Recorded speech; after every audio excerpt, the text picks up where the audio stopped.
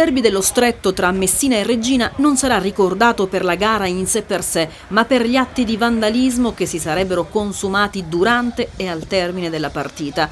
A denunciare l'accaduto l'allenatore della Regina che sul suo profilo Facebook ha scritto picchiati impunemente nello spogliatoio, picchiati impunemente in campo, pullman dato alle fiamme con 35 persone a bordo. Abbiamo perso sì, ma un gioco che non può essere chiamato calcio.